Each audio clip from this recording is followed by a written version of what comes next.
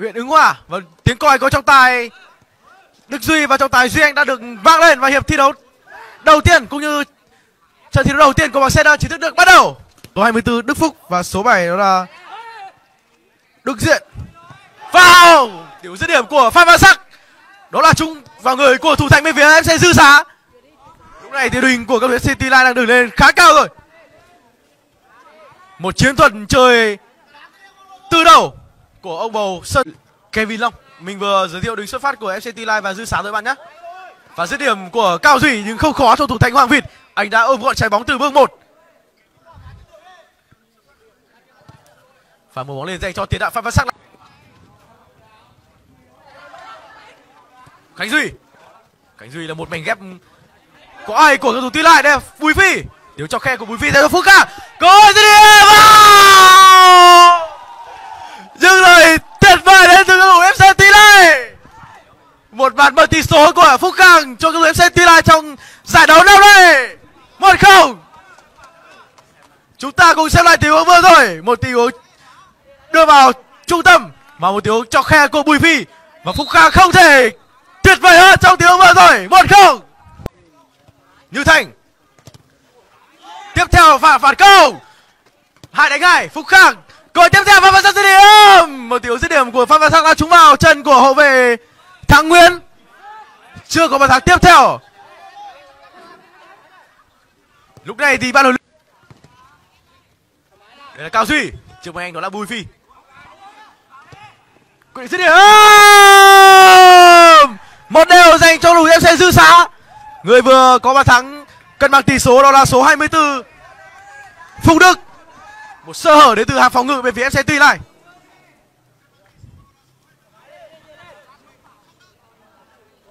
Xin cảm ơn bạn thắng beo rất là nhiều. Mình sẽ truyền tải tới các thủ fc này và ngả người không tốt của bùi phi. Không tốt, phá dứt điểm. Và lập bập trước khung thành của T này tỷ số được nâng lên là 2-1 dành cho đủ dư xá. Rất nhanh chóng. Ngay sau khi có thắng, cân bằng tỷ số thì dư xá đã có bàn thắng. Nâng tỷ số lên 2-1 Cao thủ FC Tuy La cần phải cố gắng hơn nữa ở những phút sắp sắp tới.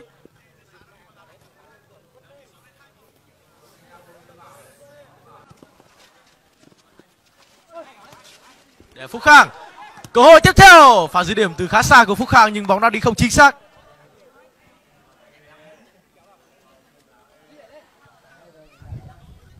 Đặc biệt thị có đá phạt dứt điểm. Và dứt điểm quá nguy hiểm của Cao Duy một chút sơ hở của FC Tuy Lai trong tình huống vừa rồi. Nếu như không có sự may mắn thì sẽ là một bàn trung vệ Hoàng Đồng và tiền vệ Bùi Phi rời sân. Người vào sân đó là Vũ Phong và Đức Thịnh.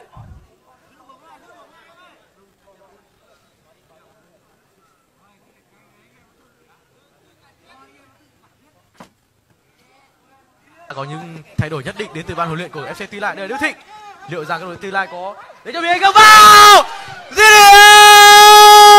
một bầu trời nổ tung trên sân bóng hình anh của các cầu thủ Tuy Lai hai đều rồi! Chúng ta cùng xem lại vừa rồi và chọc khe lênh láng của Đức Thịnh dành cho Vũ Chiến. Và bóng đã trúng vào cột dọc và Phúc Khang không thể tuyệt vời hơn trong tình huống vừa rồi. Cú đúp dành cho Phúc Khang. Hai đội dòng ra sao? Quyết định giết điểm từ xa của Khánh Duy, rất nguy hiểm.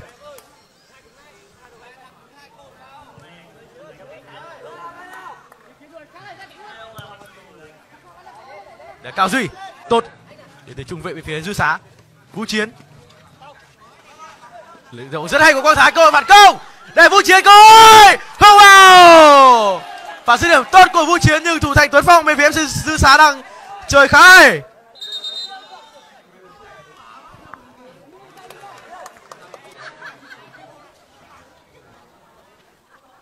Khánh Duy. Đưa bóng vào trong cho Quang Thái.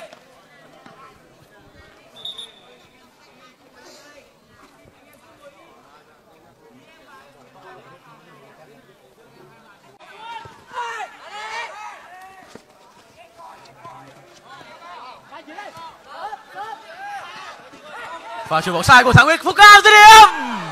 Và dứt điểm rất hay của phúc khang, nhưng thủ thành tuấn phong là chơi tập trung cho tình huống vừa rồi. Phúc khang và bình luận viên. Không vào. Tiểu đánh đầu của số 7 bên phía dư xá đó là đức diện cắt bóng của thắng nguyên. Và làm tường của phan văn sắc. Quang thái. Mở bóng dây cho phúc khang. Cơ hội phan văn sắc dứt điểm vào tiếp tục là một bầu trời nổ tung trên sân bóng Huỳnh Anh ba hai dành cho cầu thủ tuy này người vừa có pha lập công đó là phan văn sắc.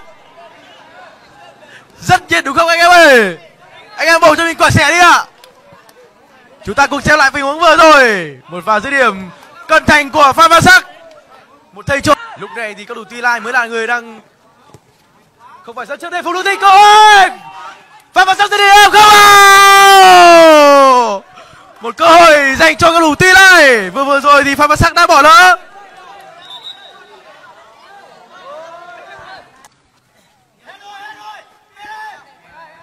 Truyền còn ít. Xin cảm ơn bạn.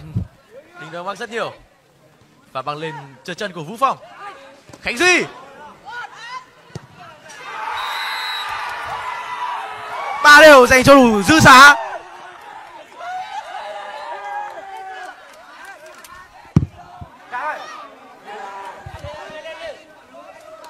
Rất hay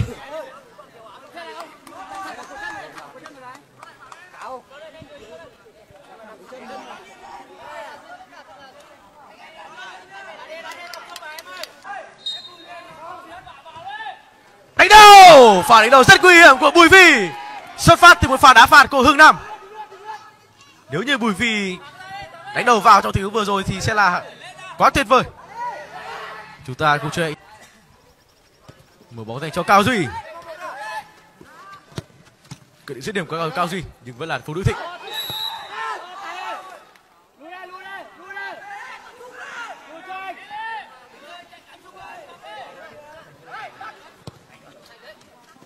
như thành những phút thi đấu cuối cùng rồi. Như thành và phát sắc. Và sắc quyết định tung ra cú dứt điểm luôn. Và đúng lúc này thì tiếng còi của trọng tài, đức suy cũng đã vang lên. Trận đấu giữa tuy lai và dư Sá đã kết thúc.